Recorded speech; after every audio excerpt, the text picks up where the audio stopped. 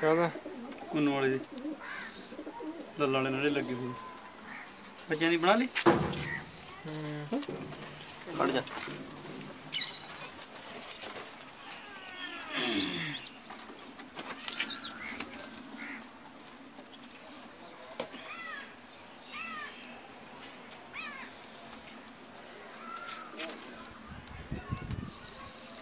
ਲੱਲਾਂ ਵਾਲੇ ਦੇ।